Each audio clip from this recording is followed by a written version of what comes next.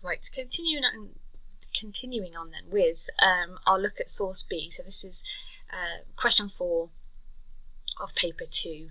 So this is part three of that series of videos for question four. So we left off having looked at the language that's being used in um, question in uh, the Charles Dickens text about the rail crash to convey his ideas and perspectives on the train crash. And now we're going to have a look at source B and compare um, the differences in the ideas and um, the methods, the techniques, the language that this writer uses. So um, I think the last thing I sort of said in the video was that you know the Charles Dickens one is more of a first person account um, of somebody who was actually there conveying the shock and the you know the chaos of the um, event as it unfolded and then this one is um, a newspaper interview some parents. So it's a more of a of, of, of, a woman who was tragically killed in a train crash, and so it's more of a third person account. This newspaper reporter is presenting um, their sort of views and their ideas of what has happened. What has happened, and so if we look at the very first paragraph, um, we are introduced here a cacophony of telephones bleeped and buzzed. So it's the telephones of the people, the families, and the loved ones um, of the victims um, who are not at the train crash itself. So we're getting their perspective. This writer is presenting um, the idea of those families and the victims who weren't actually there. And he says, a cacophony of telephones bleeped and buzzed. And so that gives us the sense of it's, it's people from the outside looking in, if you like. And this word cacophony, so it may it means um, it's a harsh mixture of sounds. Um, so it sounds unpleasant.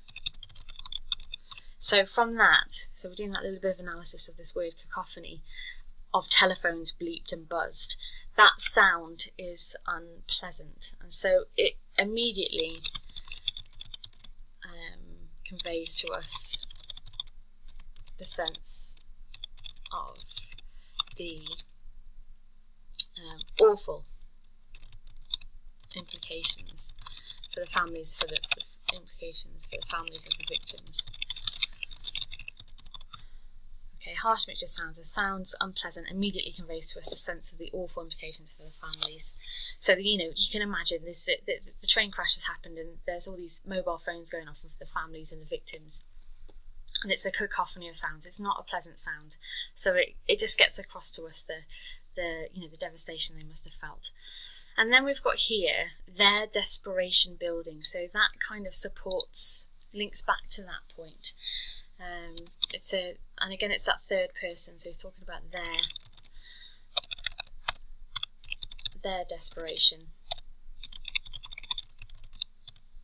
um, and how it was building. You know, a sense of impending doom and disaster.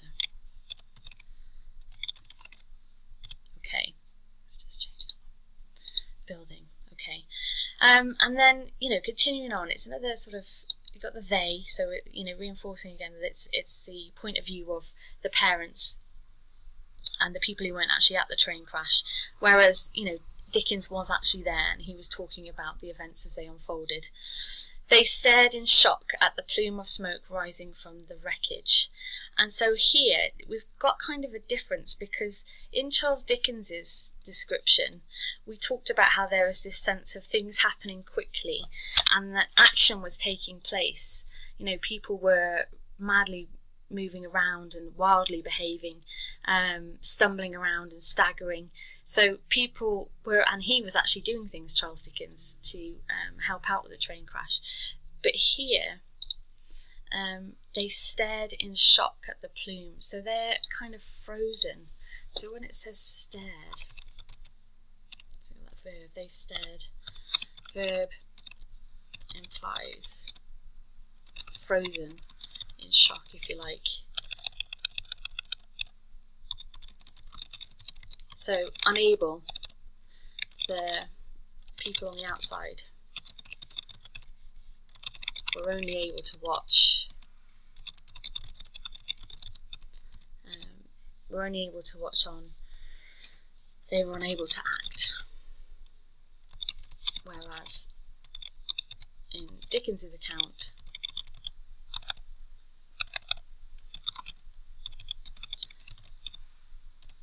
we get the sense of fast action and sort of the chaos surrounding the train crash. Um, and you've got the imagery of the plume of smoke rising from the wreckage. So it's a kind of sense of powerlessness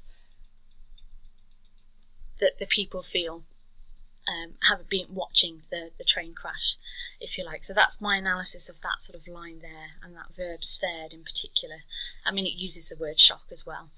Okay, so then we move on and we get uh, sort of um, some dialogue from one of the parents and he doesn't get an answer from the mobile phone and it says at that point my heart sank so of course here we've got the metaphor at this point my heart sank so this again conveys the sadness and evokes um, a sense of pathos for the families of the victims, particularly this parent. Whereas in the Charles Dickens um, extract, it's more a focus on uh, the events that are actually happening there. And we do feel pathos, but it's more for the um, the victims themselves in that moment, and perhaps for Charles Dickens, who was observing everything that was going on. So that would be my connection. That would be linking back to uh, Source A and the difference in the ideas and perspectives that are coming through there. Okay, so I'd you know analyze this metaphor here, and then talk about how that was different in terms of uh, what idea it presents uh, to the reader. Okay, so then down here, ah, so this is, because it's a newspaper article, we would expect to find some more factual language, and in fact the writer does use some more factual language here. So we've got some factual language. Both drivers were killed, as well as 29 passengers and 400 others were injured. Juliet's body was one of the last to be discovered. She was finally found on the eighth day. So there's a couple of things I can say about this. So in Charles Dickens's one, Dickens uses more description and imagery.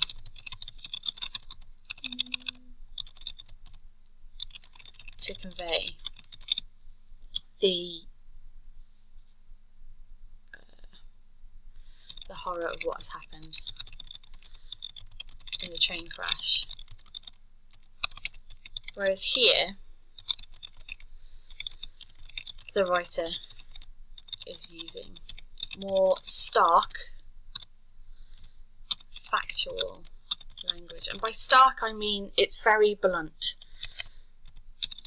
Blunt delivery of the facts of the uh, rail crash to convey the you know the um, the deaths that occurred. The deaths and injuries.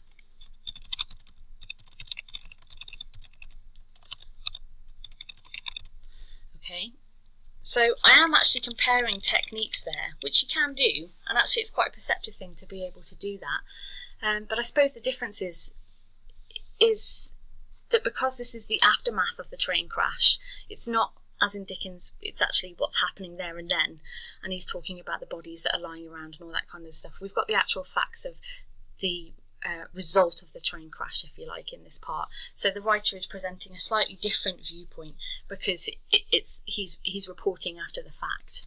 So the writer reports after the crash, and so is able to give more is able to give more factual information in this one. So that's you know there's a slight difference in the way that those perspectives um, in the in the ideas of the two texts. Okay, um, and then we get, of course, we talked about this in question two, the outcry.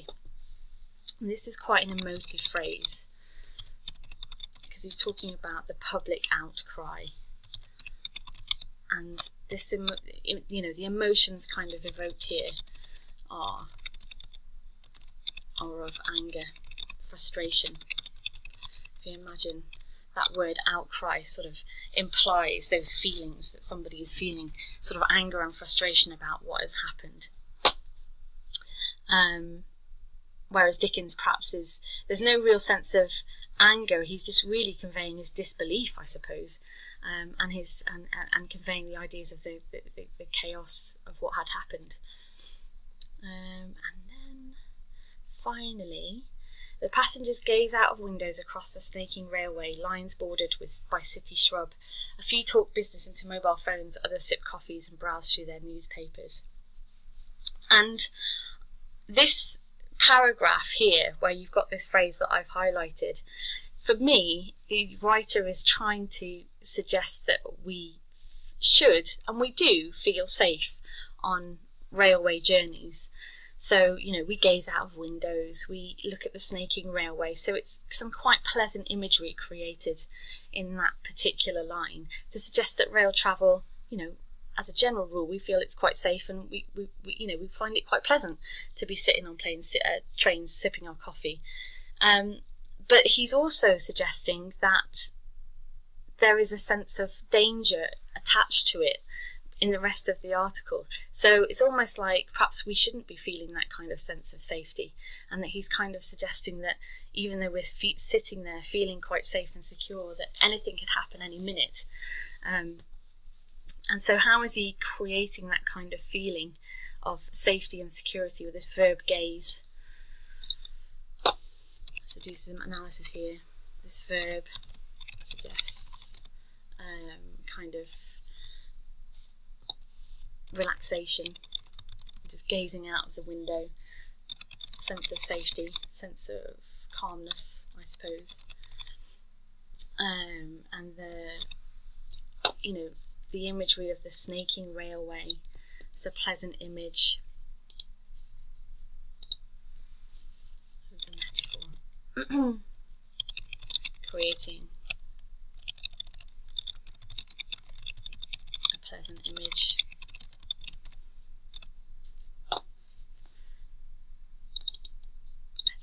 Creating a pleasant image of um, train travel.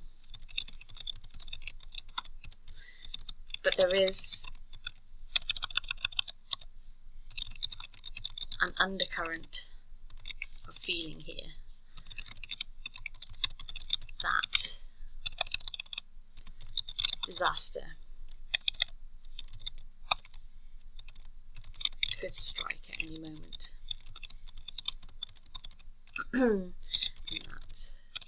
writer is suggesting perhaps we shouldn't feel quite so at ease. Um, and this is a bit of a contrast because oh, let's change that to Dickens. Yeah, this is a bit of a contrast to Dickens because he in his account, as I've already said on countless occasions, he's he's conveying the kind of sense of chaos and uh, the disaster of what's actually happened there. But here we've got this idea that you know there is in the future. This writer is presenting the idea that in the future it's something that perhaps we should think about. That there isn't, it's not always a safe and pleasant thing to go on a train journey. You know, accidents do happen, um, and he's kind of really pointing the finger at. Uh, um, Network Rail and saying that they need to you know take take account of that and uh, look closely at the safety of the rail networks. So there's that difference in ideas uh, between the two texts. Okay, now as usual, I've picked out quite a few things.